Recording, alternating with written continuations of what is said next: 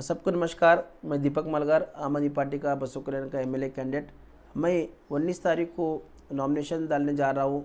मैं आप सभी बसों कल्याण में जितने भी तमाम हमारे वोटर्स से हमारे कार्यकर्ता है, हमारे लीडर से सबसे गुजारिश है कि आप सब लोग इस नॉमिनेशन फ़ाइल कर जो रैली रैली उसमें आई है।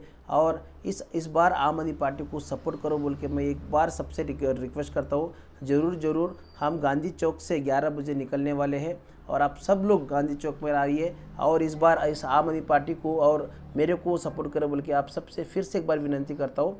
इस नॉमिनेशन रैली में हमारे स्टेट के वाइस प्रेसिडेंट श्री विजय शर्मा जी, जो कि हम उनको कर्नाटक के केजरीवाल बोलते हैं, उन्हों हमारे साथ रहेंगे और उनके उनके अलावा भी और कर्नाटक के वरिष्ठ नेता गण हमारे साथ रहिए, इस रहेंगे। इसके बाद जो है, अट्ठाईस तारीख को जो है, हमारे संजय सिंह साहब भी बसों का उनका दौरा चल रहा है।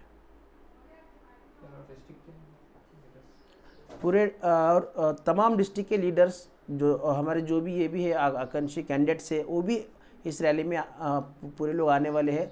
तो मैं फिर से एक बार तमाम लोगों से बसो कल्याण के जितने भी लोग हैं, जितने भी आम आदमी पार्टी को चाहने वाले जितने भी अरविंद केजरीवाल को चाहने वाले इस बार आप सब लोग आके इस नॉमिनेशन रैली में शामिल होइए और आपका सपोर्ट रहना बोल के मैं आप सबसे फिर से एक बार रिक्वेस्ट करता हूँ।